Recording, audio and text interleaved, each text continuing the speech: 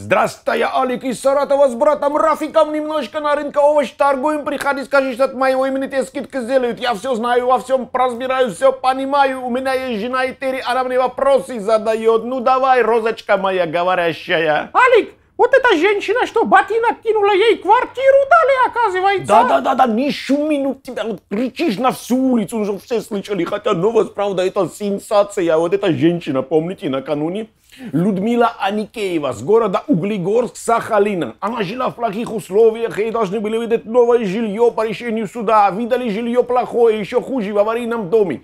Она пришла на встречу с мэром города Дмитрием Цукановым и говорит, что такое, почему ничего не происходит, ничего не делается в лучшую сторону. Он говорит, идите к прокурору, с ним разбирайтесь. Я говорит, я тебе сейчас покажу прокурора.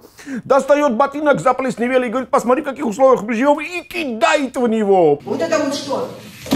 Вайме, я думал после этого, и все думали, что ей выделят камеру, понимаешь, после таких вещей в полицию везли. Но сегодня губернатор Сахалина сказал, что ей выделяется двухкомнатная хорошая квартира в новом доме. Вайме, слушай, Бати накинул квартиру, поручил, это сейчас тысячи и тысячи россиянчиков у кого там в подвале вода стоит годами, дорога не ремонтируется, в больницу кого-то не дают и куча проблем. Теперь эти россиянчики будут запасаться кто ботинком, кто сандаликом, кто босоножкой, а кто и сапогом. И они так могут пойти на встречу с депутатиками всех уровней, с мэрами, с главами районов, с губернаторами. Те трясутся, ну уже понимаешь. И таким образом будет решена куча проблем в России у людей.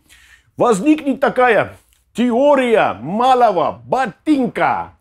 Вот, но хотелось бы, конечно, в России и теорию большого ботинка, но тут такое дело, что у нас Владимир Владимирович, он очень хитрый человек. Он на расстоянии 50 метров с людьми встречается. Не докинешь и не попадешь. Ну, вот такие дела.